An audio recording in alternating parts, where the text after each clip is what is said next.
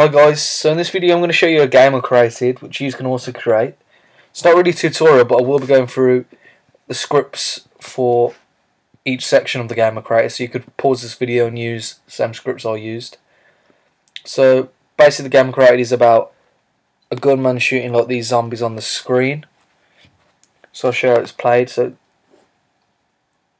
so it's basically you move the arrows, the mouse spins it round and then you shoot shooting the zombies. The green one is like the boss character.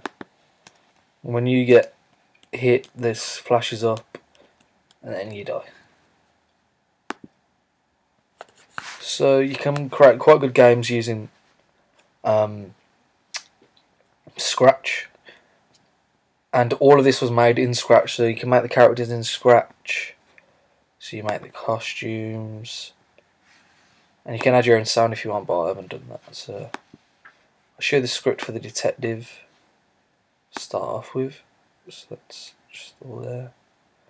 So I'd pause this on the screen and then try and follow this. And if you need any help or got any questions, just email us at optimuskidscancode at gmail.com or on Twitter and Facebook. This will be on the website anyway.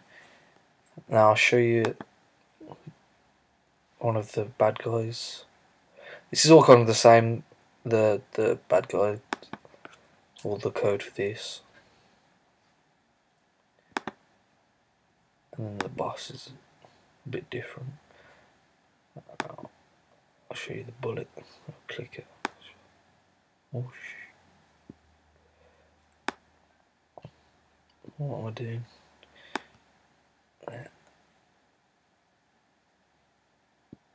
Then the red dot. Then the hit marker.